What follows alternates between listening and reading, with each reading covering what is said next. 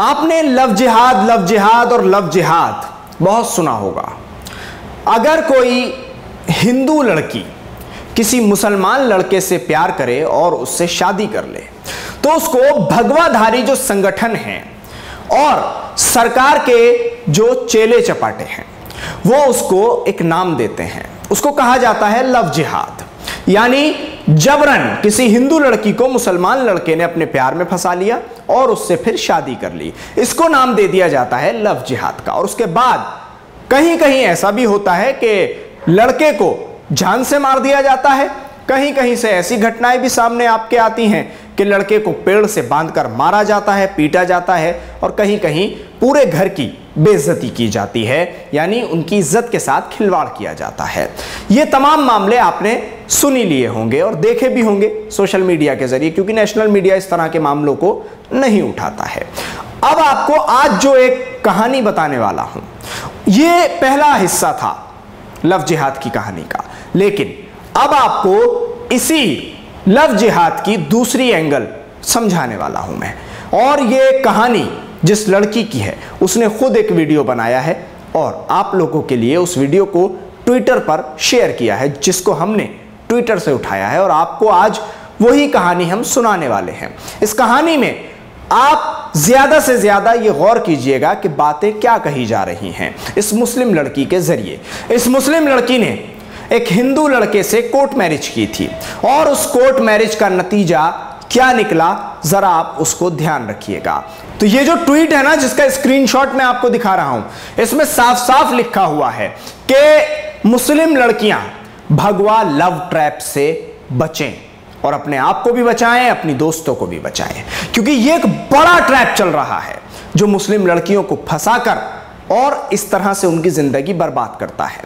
Love जिहाद की बात तो आप करते हैं, कार्रवाई भी आप उसके खिलाफ करते हैं, लेकिन जो भगवा लव ट्रैप चल रहा है मुस्लिम लड़कियों के खिलाफ, उस पर क्यों नहीं बोलते साहब? उसके खिलाफ कार्रवाई क्यों नहीं करते? तो चलिए, सबसे पहले आप देख लीजिए इस लड़की का ये वीडियो, जिसमें उसने अपने ऊपर आप बीती बताई है। सुनिए जरा।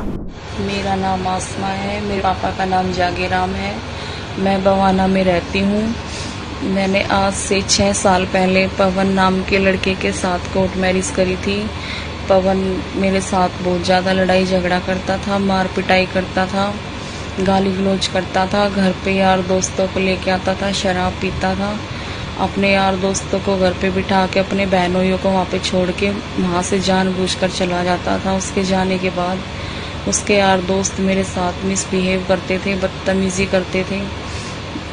मैं बोलती, चिल्लाती तो बोलते कि हमने पवन को तेरे साथ मस्ती करने के लिए हमने तीन हज़ार रुपये दिए हैं। पवन आता तो मैं बोलती कि ऐसा क्यों? तो बोलता कि नहीं। मैं बोलती कि नहीं, ऐसा नहीं होगा। तो बोलता कि जो मैं बोलूँगा, तुझे वैसा करना पड़ेगा, तुझे ऐसे ही रहना पड़ेगा। या तो तू अपने घर वालों से मुझे पैसे दिलवा, या फिर तू उनसे मेरे को हिस्सा दिलवा। अगर ऐसा नहीं करेगी तो जैसे मैं बोलूँगा, तुझे वैसे पैसे कमाने पड़ेंगे। मेरे साथ बहुत ज़्यादा लड़ाई, झगड़ा, मारपीट करता था, गाली गलोच करता था। 6 जून को 6 जून को 2020 में लॉकडाउन में उसने मेरे को घर से निकाल दिया था। मैं बहुत बीमार थी, बहुत परेशान थी, बहुत बुरी हालत में थी। मेरे, मैंने अपने भाई को फ़ोन किया। मेरे फ़ोन में भी पैसे नहीं थे। मैंने अपने भाई को ऑटो वाले के फ़ोन से फ़ोन किया। ऑटो वाले भाई के फ़ोन से फ़ोन किया अपने भाई को। मेरा भाई मुझे रोहिणी सेक्टर 18 से लेके आया। मेरा किराया दिया। मेरे पास पैसे नहीं थे। मैं बहुत बीमार, बहुत परेशान, बहुत बुरी हालत में थी।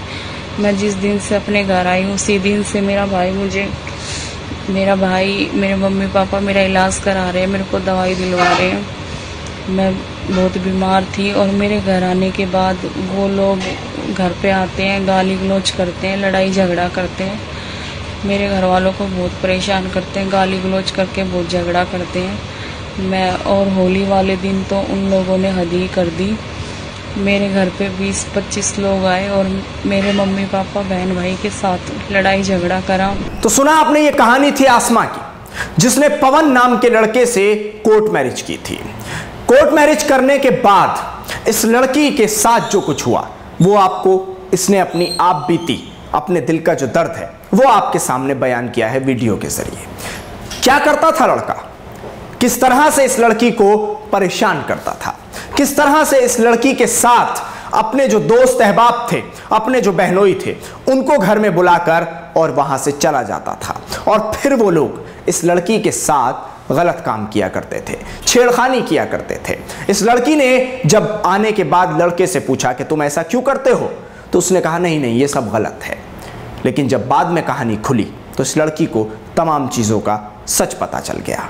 अब आप बताइए कि जिसको लव जिहाद आप कहते हैं, जिसको लव जिहाद का नाम देते हैं, उसका जरा दूसरा एंगल भी तो देखिए। सिक्के का एक ही पहलू क्यों देखना साहब? सिक्के का दूसरा पहलू कौन देखेगा?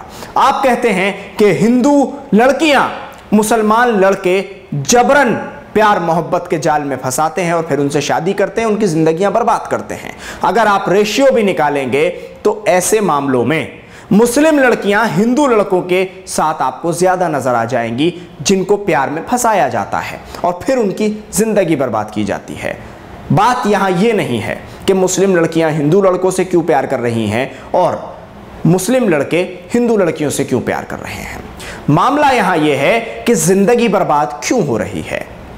मामला यहाँ यह है कि अगर शादी हो जाती है, उसके बाद फिर बदले की भावना और सामाजिक तौर पर और धार्मिक एंगल जब दे दिया जाता है उसको, तब क्या होता है? तब कौन सी पुलिस, कौन सा प्रशासन इसके खिलाफ कार्रवाई करता है?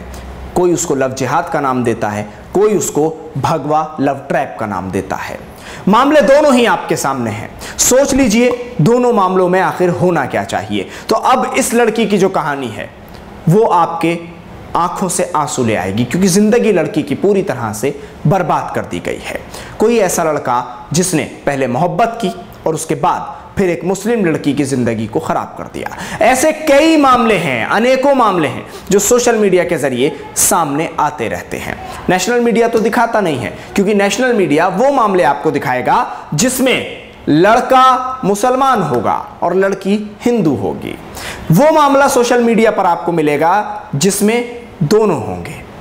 क्योंकि सोशल मीडिया आज के दौर में काम तो बहुत अच्छा कर रहा है, लेकिन नेशनल मीडिया वहीं अपनी जिम्मेदारियों से बहुत ज़्यादा गाफिल है, भटका हुआ है। अब अगर यह मामला आपको नेशनल मीडिया पर ना मिले तो समझ जाइएगा कि लड़की मुसलमान थी और लड़का हिंदू था। इसलिए नेशनल मीडिया से यह मामला पूरी तरह से गायब है। अब आपको यह भी बता दूँ कि इस मैसेज में, इस पैगाम में जो ऊपर लिखा हुआ है इस ट्वीट में साफ़ साफ़ उसमें मुस्लिम लड़कियों को हिदायत दी गई है। मुस्लिम लड़कियों को बताया गया है कि आप भगवा लव ट्रैप से बचें।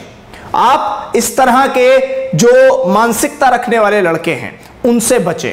उनकी मानसिकता से बचें। वो आपको जबरन अपने प्यार में फंसाएँगे। वो आपसे मीठी मीठी बातें करेंगे। लेकिन उसके बाद आपकी ज़िंदगी के साथ क्या होगा, वो यही असमा ने जो बताया है, वो आपके साथ होने वाला है। तो अभी भी संभल जाइए, सतर्क हो जाइए और अपनी ज़िंदगी को बचाइए। आप हमारे साथ इस वीडियो में जुड़े, आपका बहुत बहुत शुक्रिया। न्यूज़ एमएक्स को यूट्यूब पर सब्सक्राइब करें फेसबुक पर लाइक करें, वीडियो को ज़्यादा से ज़्यादा शेयर करें। धन्यवाद।